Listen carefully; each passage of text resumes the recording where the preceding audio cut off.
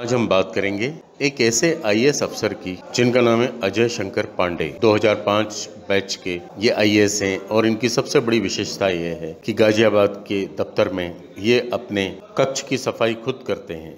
ये वहाँ पर सुबह आने के बाद न केवल झाड़ू लगाते हैं, बल्कि पोछा भी लगाते हैं और टेबल खुद साफ़ करते हैं और इन्होंने वहाँ पर एक बोर्ड भी लगा रखा है कि इस कक्ष की सफ़ाई मेरे द्वारा की जाती है और बाहरी व्यक्ति इसे अनावश्यक रूप से गंदा न करें। कुल मिलाकर यह आईएस सभी के लिए आदर्श बन गया है। पांडे जी के बारे में कहा जाता है कि वे सफ़ाई पसंद हैं और उन्होंने स्वच्छता को अपना धर्म बना लिया है। उनके ऑफ़िस की सफ़ाई देखते ही बनती है। उनका यह कहना है कि उनकी देखा देखी पूरे कार्यालय में सभी अपने अपने कक्ष की सफ़ाई करने लगे हैं। हालाँकि उन्होंने इस तरह की कोई बात नहीं कही थी कि बाकी लोग भी सफ़ाई करें, लेकिन उनका अनुकरण कर रहे हैं तो इससे उन्हें खुशी ही होती है। कुल मिलाकर इंदौर इंदौर में भी कई ऐसे आई हैं जो नई नई मिसालें पेश कर रहे हैं लेकिन गाजियाबाद के पांडे जी ने जो मिसाल पेश की है, उसने स्वच्छ भारत की दिशा में एक बड़ा कदम उठाया है कि किस तरह से आईएएस अपना सब अभिमान छोड़कर खुद अपने कक्ष की सफ़ाई करते हैं subscribe our channel and press the bell icon for more updates.